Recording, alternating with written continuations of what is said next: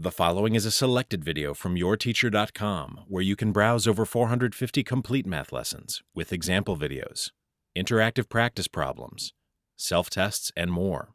Try a complete lesson today at yourteacher.com. First, line up 985 and 57 so that their units digits are in the same column. When we try to subtract in the units column, notice that we have 5 minus 7. Since we can't take away 7 ones from 5 ones, we instead take away 7 ones from 15 ones. We can do this by borrowing one 10 from the tens column, which leaves us with 7 tens. The borrowed 10 is then added to the 5 ones to get 15 ones.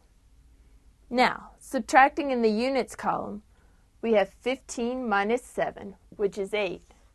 In the tens column, 7 minus 5 is 2. And in the hundreds column, 9 minus 0 is 9. So the difference between 985 and 57 is 928.